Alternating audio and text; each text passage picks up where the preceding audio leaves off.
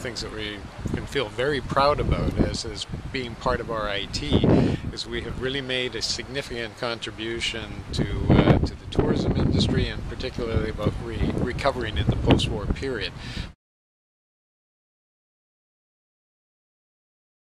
One of the key strategic areas for us and for the Institute, though, is uh, study abroad. Um, increasing the number of students who will be coming over from the Rochester campus, and even for that matter, from the Dubai campus, the Kosovo campus, and, and also um, some of our affiliations, about increasing the number of students who will be coming in and spending, spending a semester uh, here, here in Dubrovnik or also within Zagreb.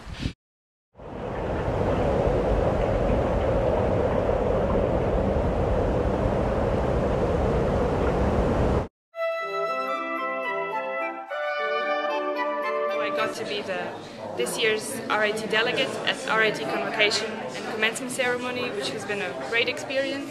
I wasn't even aware how large, how how we are a part of this much much larger group of students all over the world. And then I liked it so much that I'm even considering the master program at RIT Dubai. Um, I've been working for in um, in a hotel in a five star hotel in the old town for the last three or four years. So when you get into a hotel, you know what to do. And I think that RIT ACMT or the RIT itself uh, gives you a good picture of what you need to do and how you need to do it.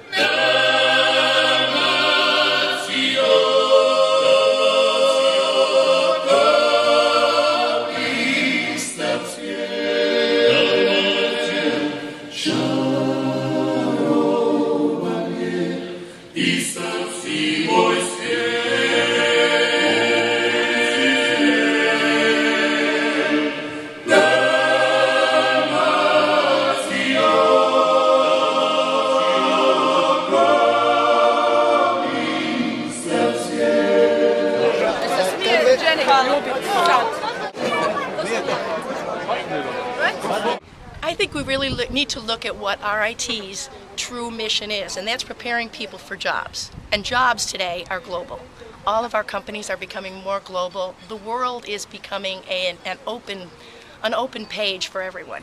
And if you look at any industry, you can see that they are increasingly stretching their reach to China, they're stretching their reach to the Middle East, they're stretching their reach to Southeast Asia. And we all need to be part of that if we're going to be preparing our students for the future.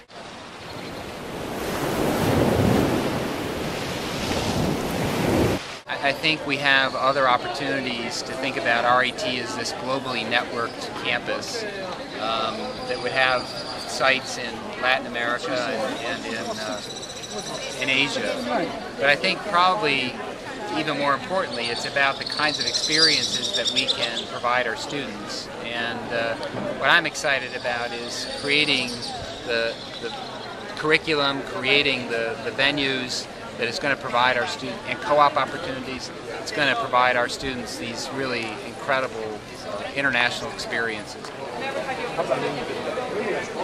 for me, the, the real rich part of this is that some of the best friends that I have live around the world.